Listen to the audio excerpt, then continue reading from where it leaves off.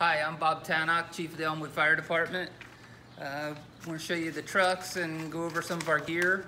Uh, the Elmwood Fire Department was established in 1869. We just celebrated our 150th anniversary last year.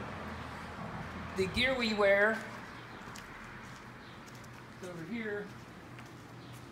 So for fires, we have to wear the turnout gear. We got our helmets, our coats, our boots, and our bunker pants.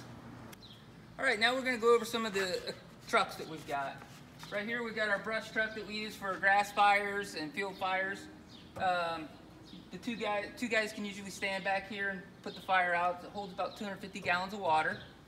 And then we'll go over to the tender, to the tankers.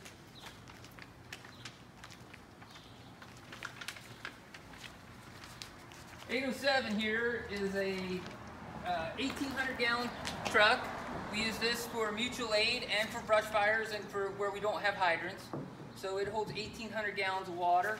And then 802 is a backup engine and also tanks water and it holds 1250 gallons of water. And then our mainline engine is 801 over here and it holds 1000 gallons of water.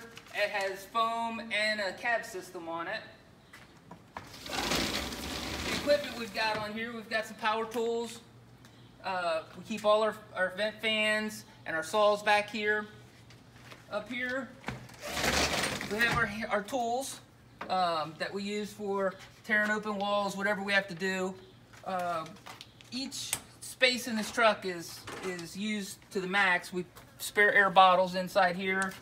Uh, inside here we've got our fittings and some extra hose that we need for when we get on scene. Up here you've got your pump panel where, where the pump operator works. Here we have our cross lays which are pre-connected so uh, we pull up on a fire we can grab those lines and go start extinguishing the fire. Inside here we've got the uh, cab where we can hold six guys back here. And then we got up front here where we got two. We can hold the, the uh, driver and the passenger or the officer in charge. On the other side,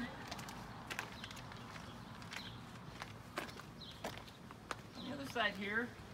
Here again, they could go ahead and grab these cross lays over here on this side. So depending on which side the fire, when we pull up on scene, they can grab from either side. In here we have our extrication equipment, which is used for car accidents, uh, cut people out of cars if need be.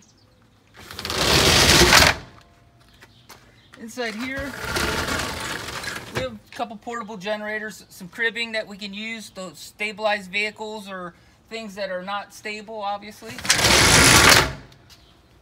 Inside here, we've got our medical equipment. And in the very back, in the back here, we've got our rescue jacks and some cones, refrigerator to keep everybody cool. And uh, that's pretty much the trucks.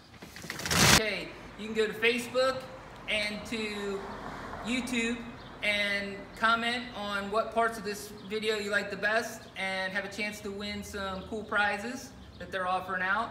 Uh, the fire department wants to encourage you guys to continue to read and to come back and see what the, the library's got set up for you guys next time. Thanks for coming.